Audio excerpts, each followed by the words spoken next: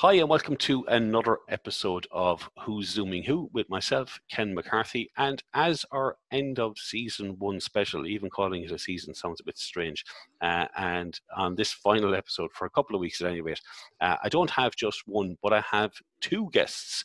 Uh, joining me are Lorraine Gallagher and Trevor Boland, both of whom work in Ahead. Uh, I came across um, Trevor and Lorraine. Well, I had, I think I'd known Trevor uh, already from I- interactions on, on Twitter or maybe LinkedIn or something like that. But uh, they ran a wonderful webinar just a short couple of weeks ago on uh, accessible PowerPoint.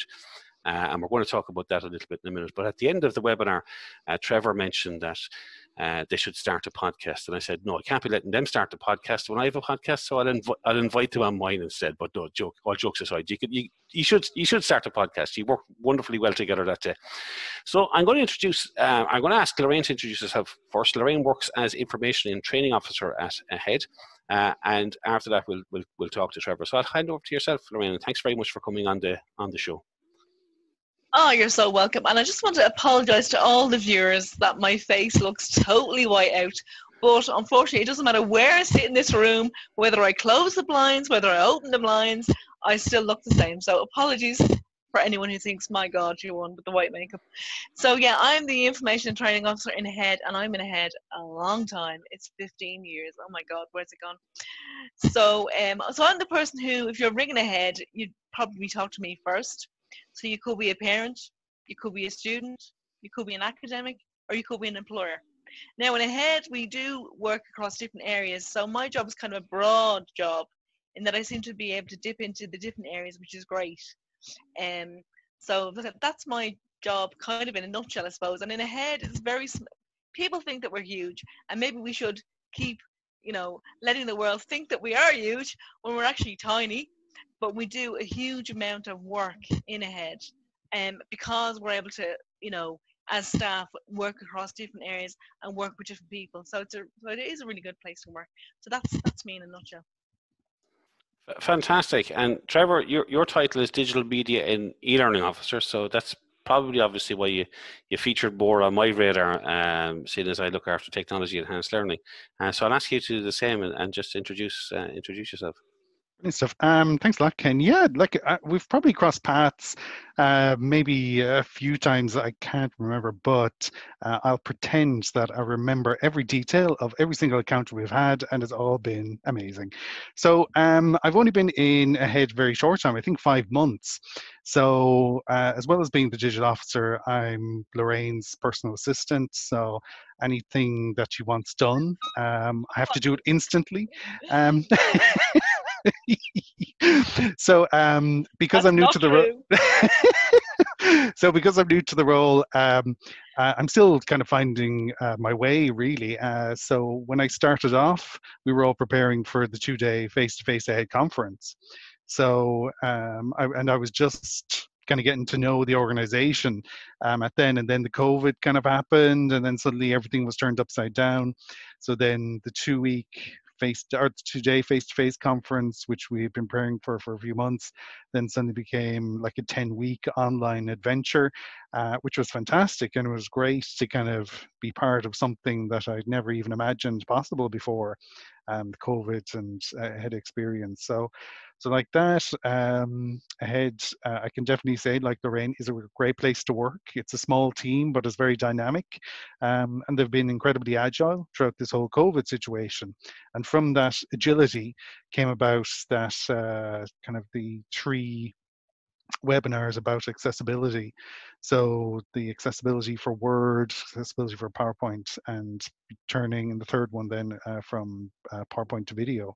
Um, so because I suppose we're responding to the situation, a lot of my work has been about like trying to fit in what my role is about with what's going on right now so we can be relevant.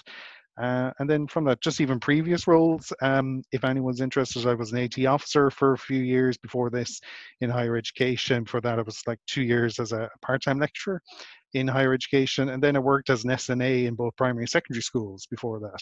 So there's been a trade of kind of disability throughout primary and secondary and higher education throughout most of my experience. So this is my first time not working directly with students. So it's been kind of interesting being working in terms of supporting staff kind of fully now as opposed to uh, supporting students. So that's been a big change really and one that you know i'm really kind of like and i miss students still think they're fantastic and great but like i'm definitely like uh, liking working with like staff and supporting staff. So that's me in a nutshell Absolutely fantastic, and and no, look, I I just treat staff like they're students as well, so um, you, you're you're probably safe enough doing that. I didn't realize you, you were only in the in the role um, uh, such a short period of time, uh, so I I actually started my current role as head of technology enhanced learning in, in WIT uh, about uh, five months ago now as well. Uh, so we, we, we, we have that in common, if, if nothing else. Um, little did I think um, things would quite take the, the, the, twists and turns that they did.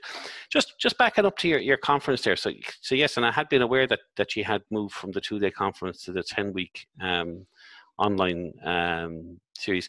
That that see, I, I, didn't. I have to admit, I didn't attend any of the, any of the, the, sessions, but I did see lots of positive tweets and good feedback about it.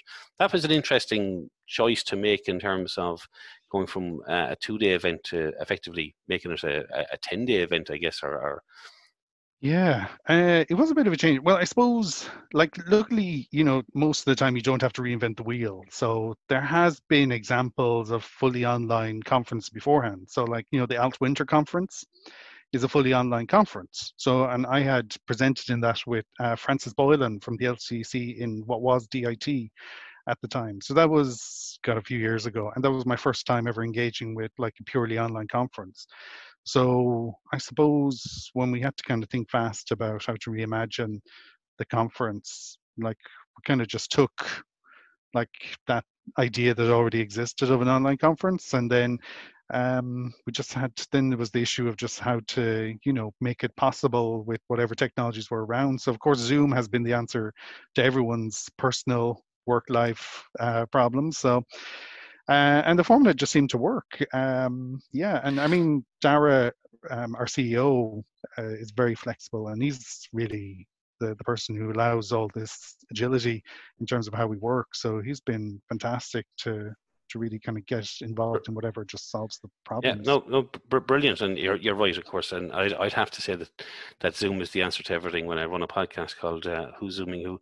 So Lorraine, um, you're you're you're personal assistant um, certainly gives a good um, um, impression of what it's I know, like to. I know Trevor. I know, I know, I know Trevor of old. He might say right. he's only in ahead five months, but in fairness, he has been doing work for us and for you know for me as well for oh good few times you know lots of times over the years. In fact, I am um, am the tutor on a, a course called a Head Start, which is all about how to do um, supporting students with disabilities in education. And at the end of it, they have to do um, how to do a needs assessment. Now, a needs assessment is what happens when, if you have disability and you disclose to the college, then they carry out a needs assessment to see what supports that you need while you're in college. And um, Trevor has come in because we run a blended. Now, this is before, it's interesting before COVID, all the things we did. So, this is a, um, it's kind of like, I suppose, a 10 week course and one of the days is blended because everyone likes to meet in person and get to you know because they don't have people even though they work they work in an area they don't necessarily all get to meet and chat. So it's kind of a networking event as well and we have speakers and trevor would have done the at section the the um, speed dating section on how to use assistive technology. So i do know trevor well before we we worked together in Ahead. Yeah. So um yeah, I was, I was, go, I was going to say that the title that you should probably give him instead of um, personal assistant is factotum. It sounds uh, so, sounds sounds much more um, Latin, uh, but it just means generally uh, dog's body or uh, general operative or uh, you know. Jeez, I hope my uh, boss is not listening to this.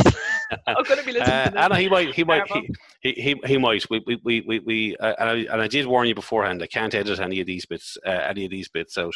well, I probably could, but I just don't know how but so Lorraine, you, mentioned there that obviously you know most of your work up until now in the head would be dealing with um, people physically on campus. Um, so so now that the world suddenly moved online on the on the 12th of March uh, as a result of the all campuses being closed, what were the the, the, the sort of you know I mean obviously um, every student was discommoded um, and suddenly found themselves in a strange new world. What were the unique kind of experiences, I suppose, some of the students that you would have worked with um, found themselves facing as a result of that, or um, what were the kind of things that that you know, made...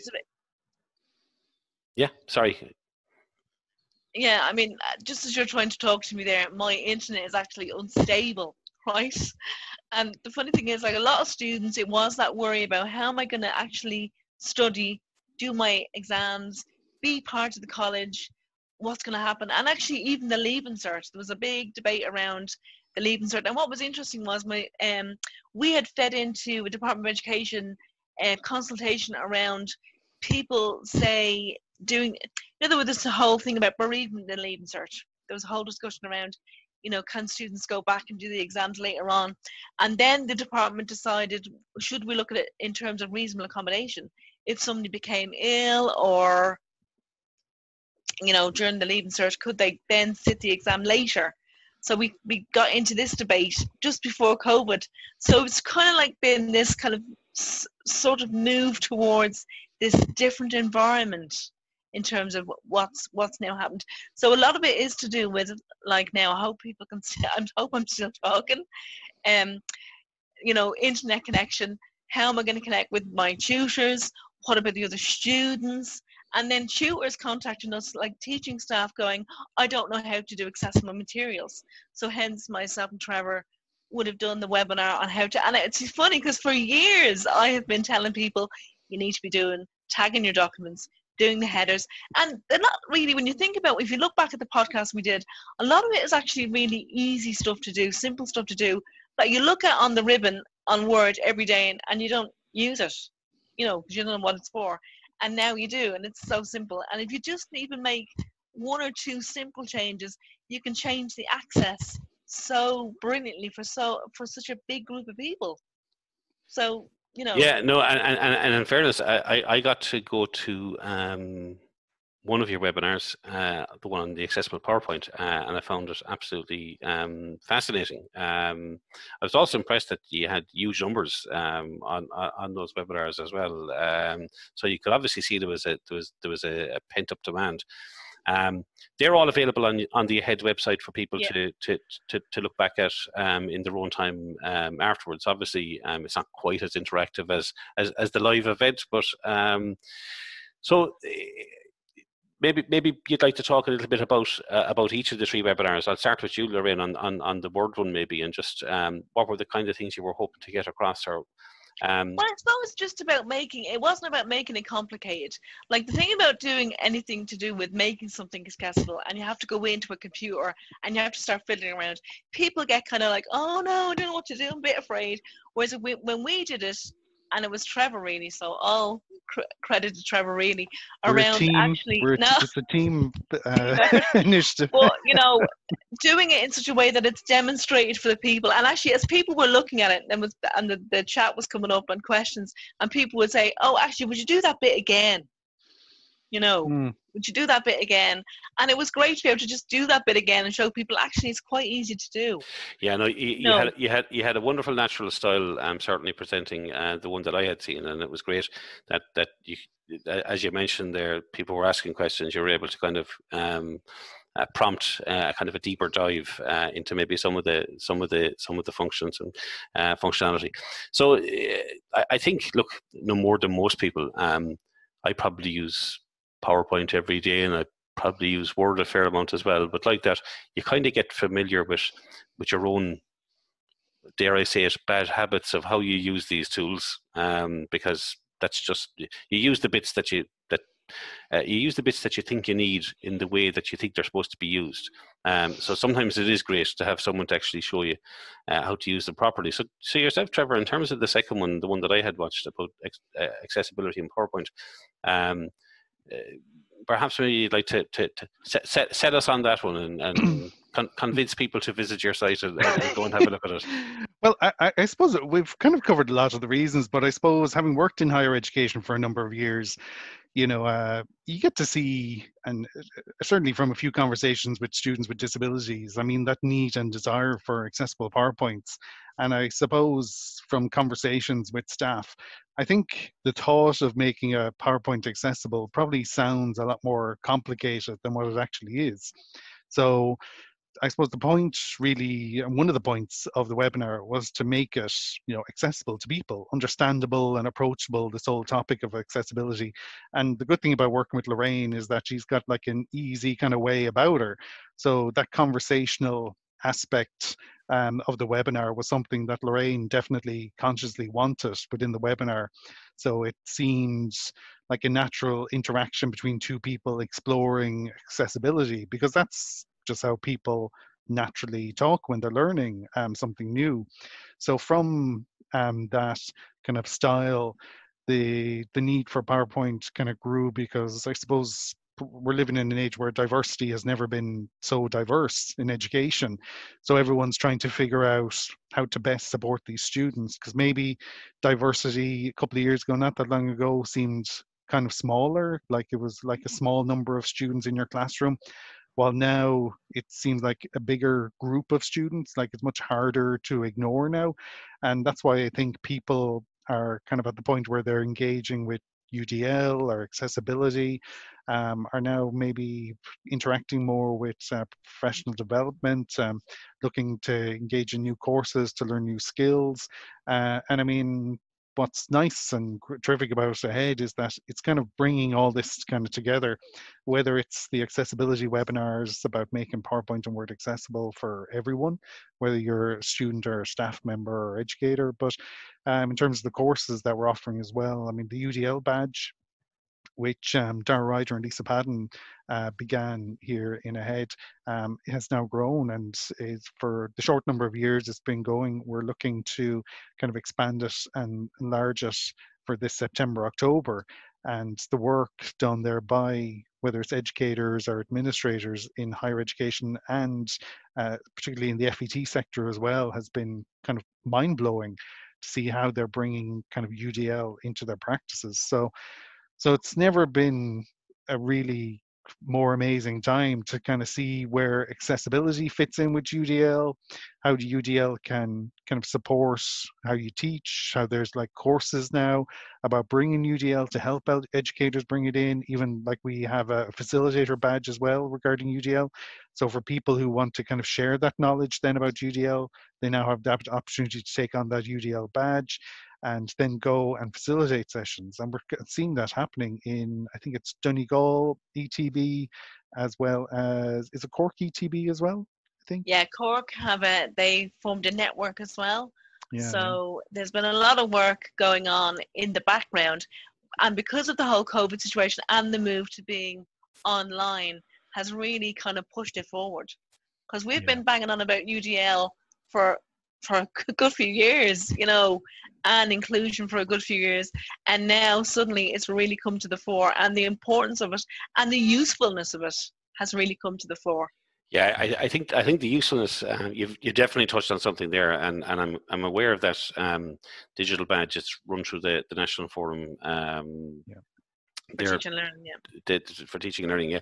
Uh, there's a colleague of mine uh, actually just completed, and she spoke very, very highly of it, Fionnuala Brennan, um, and she actually did the facilitator one as well.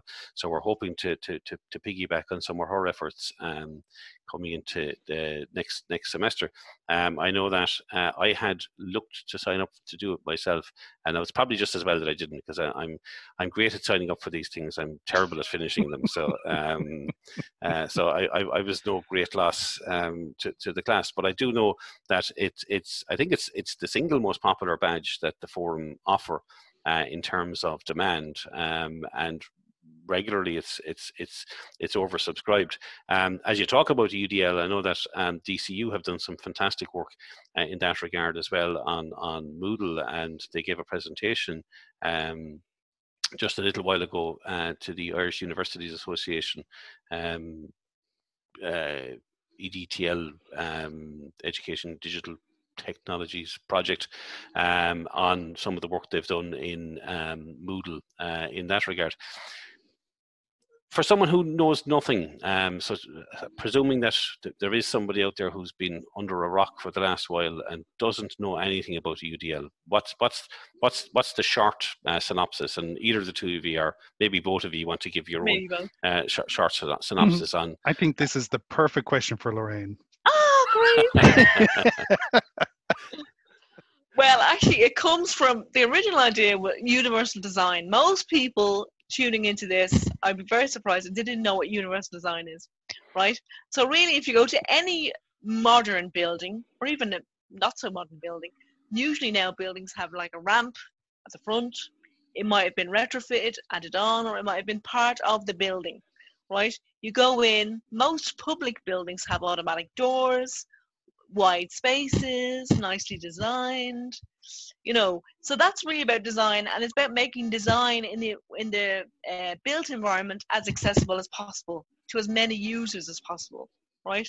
So if you take that idea, it's a very simple idea actually, um, and it was taken on board by CAST, really, which is an organization in America. So we would have worked with, as well with them around what this is. So if you take the idea of universal design in the environment and making that as usable as, for as many people as possible, regardless of your shape, size, whether you're a wheelchair user or whether you have a, a child in a pram or whatever, right? If you take that idea and then you move that into learning, so what would happen if you brought the uh, the principles of universal design into the learning environment? So UDL is really universal design for learning, and that's kind of what it's all about. Is what if you took those ideas and tried to make the learning environment as user friendly for as many students as possible, including those with disabilities.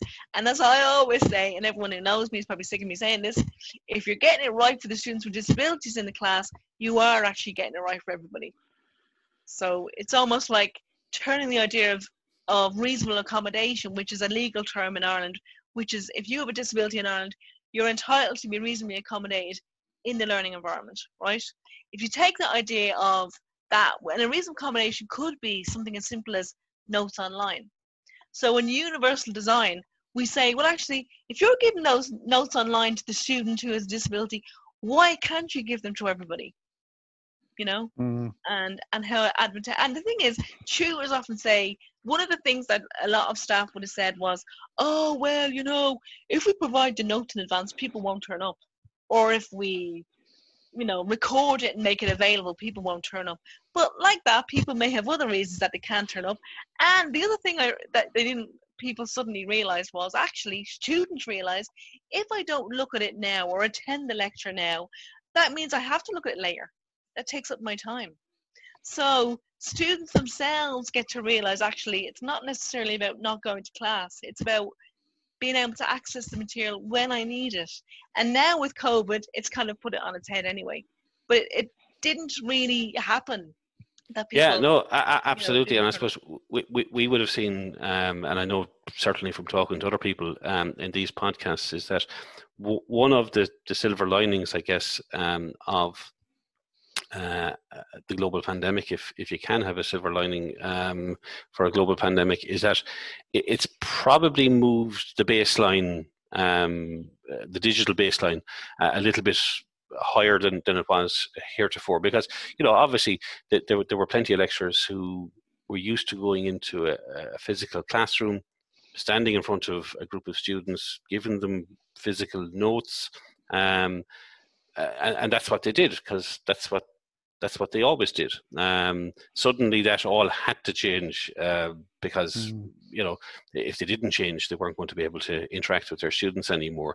Um, so I guess you know we, we probably have moved the dial a, a little bit in terms of um, getting everybody online at, at some uh, level. Um, obviously, things like u- universal design is obviously making that more accessible for for um, for all users um, uh, Yeah, because and, and all all students. users- Yeah, I mean, at the end of the day, it turns out actually because the student body is so diverse, right? All students need scaffolding. So it's a myth to say there's no such thing as an average student. That's actually a myth. You know, if you made a pair of trousers for the average person, I guarantee you that trouser wouldn't fit anybody. Yeah. No. No, no. I, think I think actually, uh, I was just about to say it. You, you, you wasn't quite a pair of trousers, but uh, and I'll probably get this wrong as I always do. So I, I, am continuing a, a, long tradition of misattributing and misquoting things. Um, but it was a study done uh, either with the U.S. Air Force or the RAF or something like that, where they it was from CUS. Uh, yeah, yeah, where they designed a, a, a, an airplane cockpit for the average airman uh, and they mm-hmm. found that it worked for nobody. Um, yeah. So right. it's it's it's um, uh, it's interesting when you when you when you when you, when you mention average that um, we we hold up average as being something special when it's it's probably far from it. Um, it's far from it. So in terms of the advice maybe are, are practical steps. Um, th- this podcast is going to be going out at the start of July, and, and we're, we're still a couple of months away from the start of um, what's probably going to be a far more interesting semester when you think about it, um, in that where we've just been, um, most students were nine or ten weeks into, or eight, eight, nine or ten weeks into their semester. Um, so it was only finishing off kind of the end. Um, obviously, there was a challenge of of assessment and how uh, everything got assessed at the end of the semester, but um, hurdle seems to have been successfully navigated as well. But now we're looking at um, a new college year, uh, and indeed some students who are coming to us for the first time and have never physically been to the to the campus. Um, I know from our point of view, we're moving to what we're calling a heavily blended model.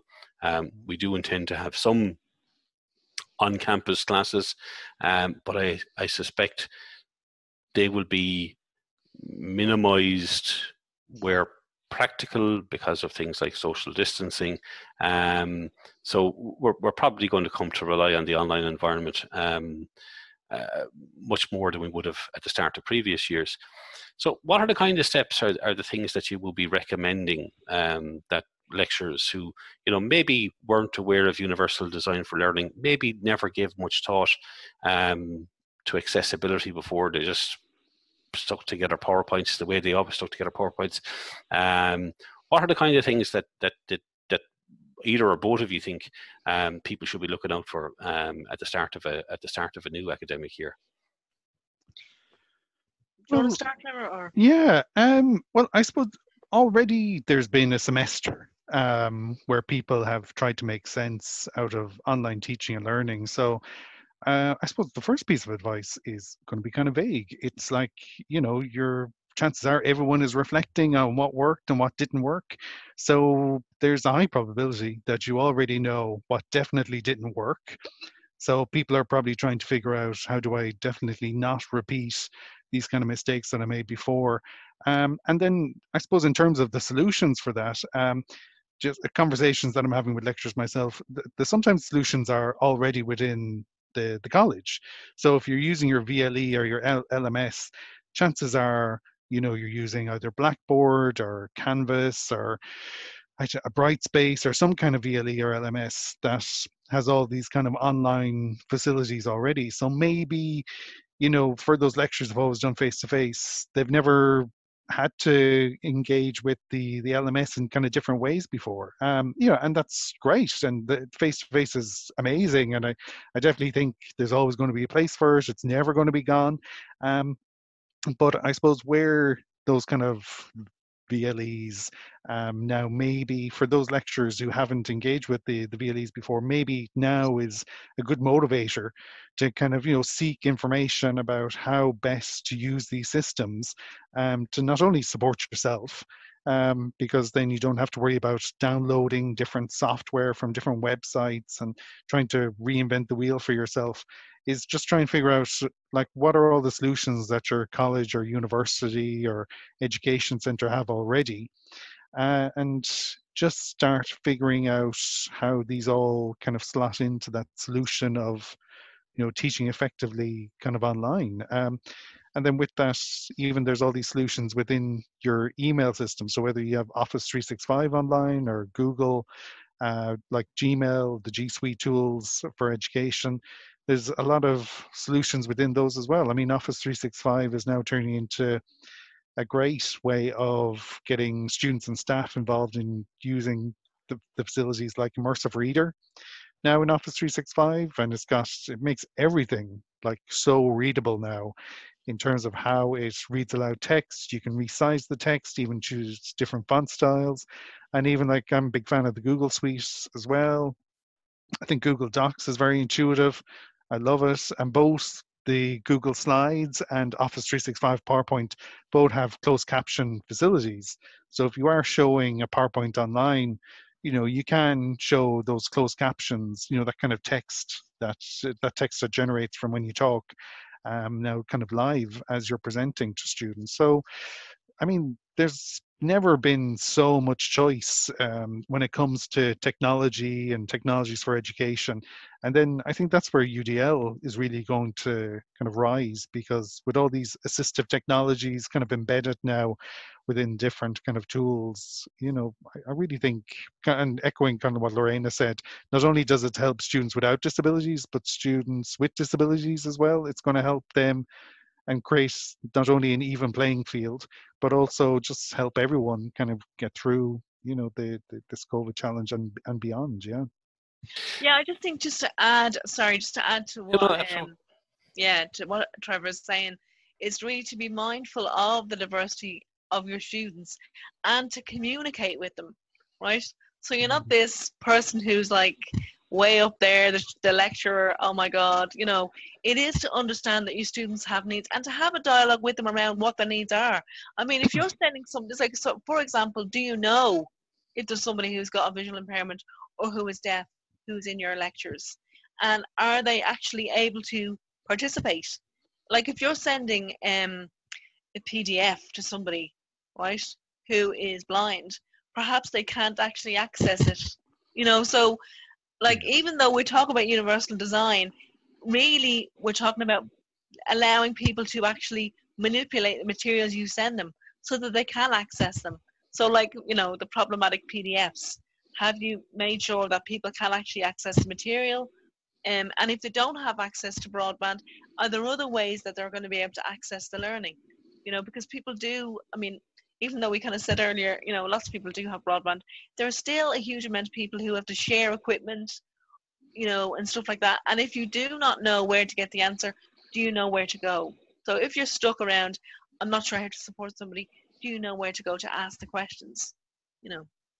Yeah, absolutely. I, I, you're absolutely right. I think um, those kind of signposting and and you touched on communication. Um, it's probably the one overarching piece of advice I've given to most of the lecturers that I work with. Um, you know, all technology does is facilitate communication. So it, it really is at the end of the day about communication and, and about keeping in contact with your students. You touched on a number of other really interesting things there, and I just want to come back to them quickly. I think Trevor mentioned every LMS except the one that we have, uh, which is Moodle. Uh, but that, but that's okay. Which um, one do you um, have? Sorry, Moodle. Oh, uh, Moodle. Yeah, yeah, yeah, yeah. yeah. Uh, but that's that's okay. We, I won't take it personally. Um, and, and, and the immersive reader. Um, my own son, I think I mentioned this to you in a previous conversation, uh, is dyslexic. Uh, and he's just after joining on Garda Síochána, and um, uh, their initial three weeks training was all online. Um, he's actually in Templemore this week, uh, and he's going to be in the Garda station next week, which is even scarier. Um, but he he a large part of their move to online um, learning, which was all new for them as well, um, involved an awful lot of uh, reading. Um, and when I reminded him of immersive reader and showed him how it worked, it's it absolutely changed his life in terms of um, rather than having to wade through very dense texts, uh, having it read out to him um, was um, so so so much easier.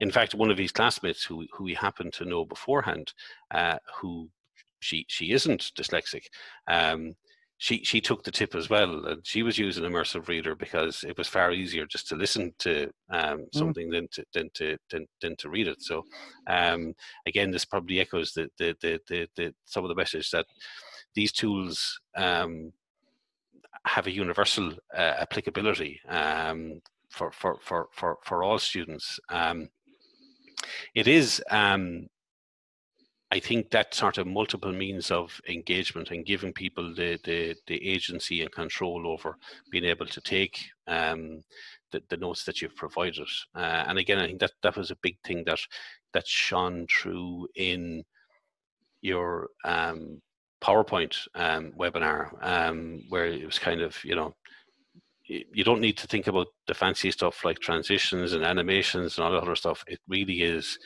having the, the, the, the, content laid out logically and using things like the proper headings so that it shows up in the, the, the contents and um, things like that. They, were the bits that shone, shone for me. The other thing actually that was excellent as well, and I, and I should have mentioned it when we were talking about it earlier on, is um, uh, and you, you, no more than Lorraine just said there about signposting where the help is available.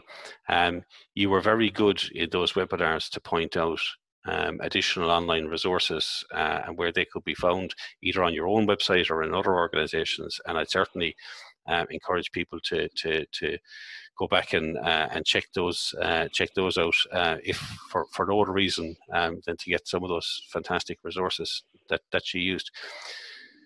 So overall, and I'm conscious that I've been talking to you for um, almost over a half an hour now, and I promised you that I, uh, I, I, wouldn't have you. I wouldn't have you too long. Um, it's it's it's been good. It's been good fun for me at any rate. So hopefully, uh, I didn't scare you off too much, and maybe you will start that podcast uh, you were talking about. What's the advice that you'd probably give to students um, in terms of facing into, uh, I guess, a, a slightly uncertain uh, semester? Or what are the kind of things that that that you think that they should um, perhaps look to? Well, I think definitely engage. Right. Don't decide. Oh, you know, I'm a bit afraid. I don't know what's going to happen, so I'm not going to bother going to college. You know, now is the time. Go now. Don't leave it another year because if you leave it another year, you may not go back. Now is your chance. If you get offered a place, you need to go for it. You know. Yeah, yeah. I would say the same really. Yeah. Um you know ask don't be afraid to ask questions so you know if you are unsure so even if you're a second third or fourth year student and you just have just concerns about what you're facing in semester one, I mean, do feel free to engage with the support services. Um, so if you're a student with a disability, contact your disability service. Um, and you know just keep up to date with whatever real information is out there and make decisions about you know next year based on like tangible information that you know where you kind of empower yourself um, that's my main advice anyway. Yeah, no, I, I, think I think it's fantastic, and you're absolutely right. And and uh, I often say it to any of the lecturers that I'm working with that they're, they're and I know they say it as well, but uh, there's no stupid questions. I might give you a stupid answer, but you know, um, the, the, the, the, the, the question the question certainly won't be uh, won't be stupid. You've been very uh, you've been fantastic with, with your advice and insight and sharing it with us uh, on the podcast. It was an absolute pleasure uh, to have to have both of you on here. Uh, a new experience for me, having t- two two heads to look at rather rather than one. Um, more the next time. But possibly, yeah, poss- poss- possibly. Um, it's going to turn into a party podcast. Yeah, may- yeah. maybe, yeah, yeah. You give me, you yep. give me, you give me, you give me ideas now. Um, so all that remains for me to say is. Um, uh, thank you very much for your time. Uh, Lorraine Gallagher, Trevor Boland from Ahead. Um, it's been an absolute pleasure to talk to you. Thank you very, very much. Great. Thank Thanks you. very much, Ken. Thank you.